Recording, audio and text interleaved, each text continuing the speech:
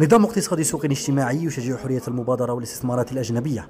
هذا ما وعد به علي بن فليس أمام مناصره من وهران في اليوم الثاني عشر من الحملة الانتخابية.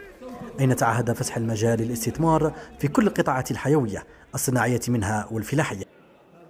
النظام الاقتصادي اللي على الشعب الجزائري سميته نظام سوق اجتماعي اقتصاد سوق اجتماعي. اقتصاد سوق ايكونومي مارشي.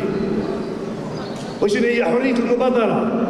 عدم تسييس الفعل الاقتصادي نزع البيروقراطية فسح المجال للاستثمار الداخلي والخارجي. لكن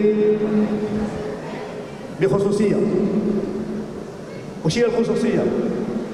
اقتصاد سوق اجتماعي فقراء محتاجين ذو الدخل الضعيف.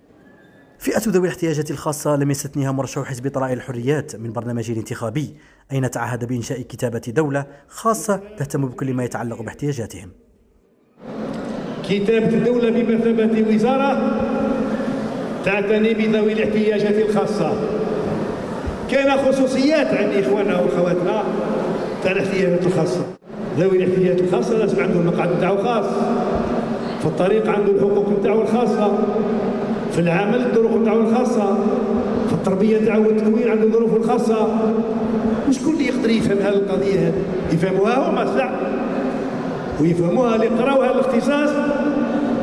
كي هما بروندر ان شارج l'handicap sous toutes ses formes بن فليس جدد في الأخير أمام مناصريه بفصل المال عن السياسة في حال انتخابه رئيسا للجمهورية.